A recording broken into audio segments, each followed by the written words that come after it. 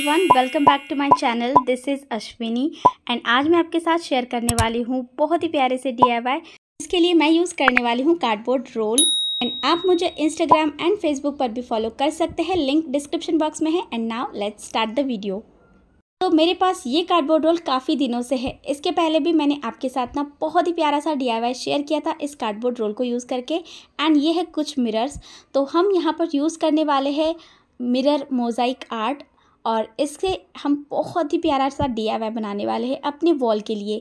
तो सबसे पहले मैं इसे कट करने वाली हूँ एंड रिसेंटली मैंने शायद इसके पहले ही आपके साथ ना एक लिपन आर्ट का DIY शेयर किया है, जिसमें मैंने ना यही कार्डबोर्ड रोल यूज़ किया था एंड जो बचे वाला हाफ़ जो कार्डबोर्ड का रोल है, इसको यूज़ करके आज मैं बहुत ही प्यारा सा एक मिरर डी बनाने वाली हूँ। तो हम यहाँ पर बनाने वाले हैं इसके ऊपर मोज़ाइक आर्ट तो इसके पहले ना मैंने नहीं देखा है किसी भी कार्डबोर्ड रोल के ऊपर मोज़ाइक आर्ट तो चलो आज हम ट्राई करते हैं एंड सबसे पहले हम स्टार्ट करेंगे फिनिशिंग से।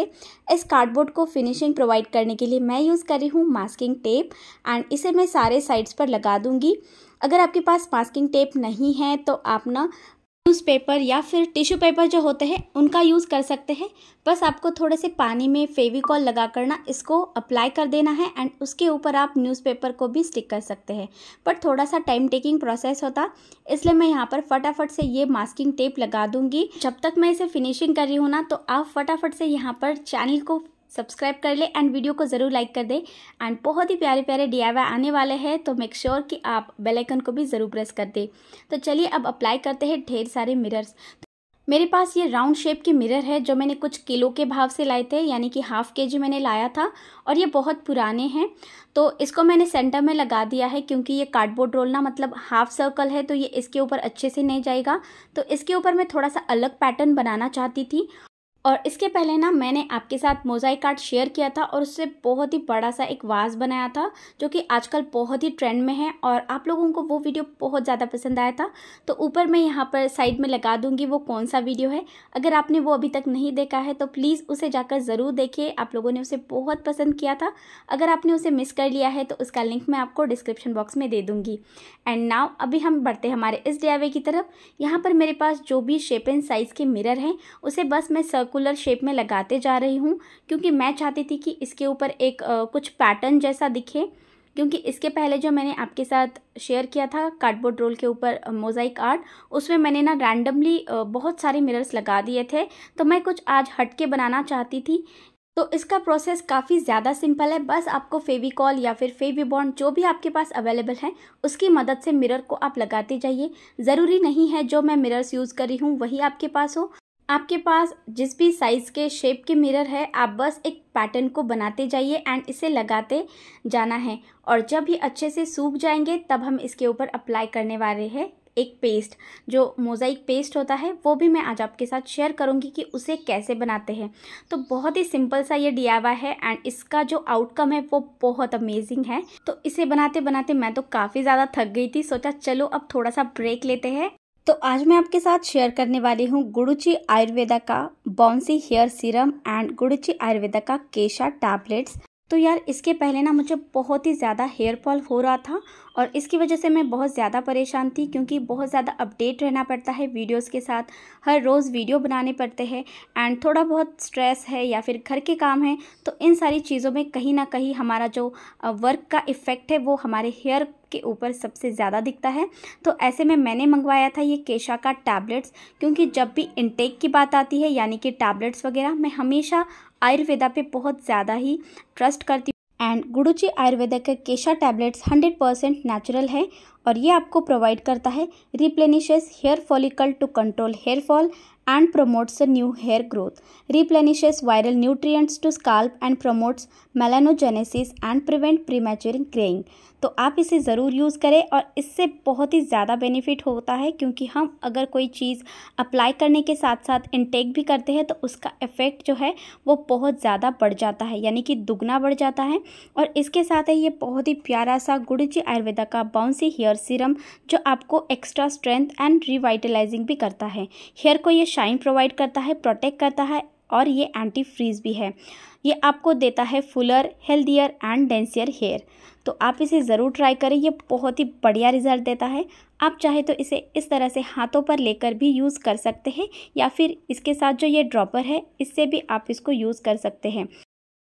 इसके अंदर बहुत सारे ऑयल्स का एक्सट्रैक्ट है, जैसे कि jojoba oil moringa avocado argan oil coconut oil rosemary तो इस तरह से ऑयल के साथ ये बना है, इसलिए आप इसे 100 परसेंट सेफ़ के साथ यूज़ कर सकते हैं। और साथ ही आप इसको थोड़ी देर तक मसाज करनी है। आपको स्कैल्प में लगाकर और बस हल्के हाथों से मसाज करने के बाद आप इसे वॉश कर सकते हैं। और मैं इसके साथ ना इसकी जो टैबलेट्स है, वो तीनों टाइम लेती हूँ, यानी कि सुबह, दोपहर और रात को खाने के बाद। तो आपका जो इफ़ेक्ट है, वो दो गुना बढ़ जाता है। इस ऑयल को लगाने के बाद आप चाहे तो दो तीन घंटे में हेयर वॉश कर सकते हैं या फिर मेरी तरह ओवरनाइट छोड़ सकते हैं और इसका रिज़ल्ट आपको बहुत ही अच्छा लगेगा। तो अगर आप इस प्रोडक्ट को ख़रीदना चाहते हैं तो नीचे मैं लिंक डिस्क्रिप्शन बॉक्स में दे दूँगी। तो अगली सुबह मैंने इसे अच्छे से वॉश कर लिया है। कोई भी नॉर्मल सा शैम्पू आप लगा सकते हैं। इस सीरम का फॉर्मूला ना काफ़ी लाइट वेट है एंड ये टैबलेट्स आपको दिन में तीन बार लेनी है, खाने के बाद या फिर आप इसे दो बार भी ले सकते हैं। एंड इस प्रोडक्ट को अगर आप ख़रीदना चाहते हैं तो 11 परसेंट आपको डिस्काउंट मिल जाएगा इसकी वेबसाइट पर। अगर आप मेरा कूपन कोड भी यूज़ करते हैं तो सारे डिटेल्स जो है मैंने डिस्क्रिप्शन बॉक्स में डाल दी है तो आप ज़रूर से चेक कर लीजिए। तो मैंने अपने लाइफ में इसे इंक्लूड कर लिया है एंड मैं आपको इसका जल्द ही रिव्यू दूँगी तो आप चैनल पर बने रहें। चलिए बढ़ते हमारे डी की तरफ़। देखिए मिरर्स लगाकर मैंने कंप्लीट कर लिया है। कितना ज़्यादा सुंदर लग रहा है। अगर आपको इसके ऊपर मोज़ाइक पेस्ट अप्लाई नहीं करनी है तो आप इसे बेस में कलर देकर इस तरह से मिरर लगाकर भी छोड़ सकते हैं। तो मैं अब यहाँ पर बनाने वाली हूँ मोज़ाइक मिरर आर्ट इसके लिए एक जो पेस्ट होता है, वो हम फटाफट से बना लेते हैं, जिसके लिए मैंने लिया है तीन चम्मच वॉलपुट्टी। इसकी जगह पर आप चाहे तो वाइट सीमेंट का भी यूज़ कर सकते हैं, और इसके अंदर जो भी आपको कलर चाहिए, वो आप डाल लें। और फिर मैं इसके अंदर ऐड करूँगी फेविकॉल। इसे अच्छे से मिक्स कर लेंगे एंड ये पेस्ट हो गया है रेडी अब जहाँ पर भी आप लगाना चाहते हैं, इसे अप्लाई कर दें। मैं इसे हाथों से ही अप्लाई कर दे रही हूँ एंड इसे आप बहुत ही इजीली हाथों से अप्लाई कर सकते हैं। और इसके बाद ना इसे स्मूद आउट ज़रूर कर ले। एक्स्ट्रा जो पेस्ट होता है, उसको निकाल ले। एंड यहाँ पर मैं दो कलर्स को ऐड करने वाली हूँ, जो ऊपर के और नीचे के साइड में मैंने जगह छोड़ी है। वहाँ पर मैं येलो कलर अप्लाई करने वाली हूँ। एंड अब हम इसको ना थोड़ा सा स्मूद आउट कर लेंगे पानी की हेल्प से। ज़्यादा पानी ऐड मत करें, जिसकी वजह से ना फिर बाद में क्रैक्स आ सकते हैं। तो बस आप इसे थोड़ा सा पानी लगाकर स्पॉन्ज की मदद से पहुँच लें। एंड अब मैं इसे ड्राई करने के लिए छोड़ दूँगी। अब नीचे के साइड में एंड ऊपर के साइड में येलो कलर को अप्लाई कर देंगे। येलो कलर को हम अच्छे से अप्लाई कर देंगे। एंड साथ ही साथ में हम स्मूद आउट भी कर लेंगे, वरना बाद में बहुत ज़्यादा दिक्कत हो सकती है। तो अब इसको हैंग भी करना है, इसलिए हम हैंगिंग के लिए कुछ यहाँ पर अरेंजमेंट करने वाले हैं। तो जिसके लिए मैंने एमसिल का यूज़ किया है तो दोनों कॉम्पोनेंट को सेम साइज़ में लेकर अच्छे से मिक्स करने के बाद हम इसे हैंगिंग बनाने वाले हैं पीछे के साइड में। हैंगिंग के लिए आप चाहे तो कॉटन रोप जूट रोप का भी यूज़ कर सकते हैं। तो दोनों साइड में मैं एमसिल को जो है इस तरह से स्टिक कर दूँगी एंड ये रेडी हो जाएगा। आप चाहे तो किसी वायर का भी यूज़ कर सकते हैं। और दो घंटे में ये अभी समर चल रहा है तो बहुत अच्छे से ड्राई हो जाएगा।